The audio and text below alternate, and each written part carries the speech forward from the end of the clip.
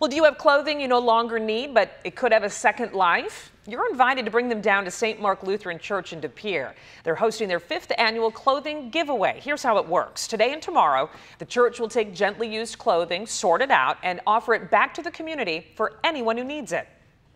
I couldn't sleep last night. I was so excited. This is my fourth year being a part of this, and it just gets so much more fun every year. We have more and more families that show up each year, more and more donations every year, and it's great to make those connections.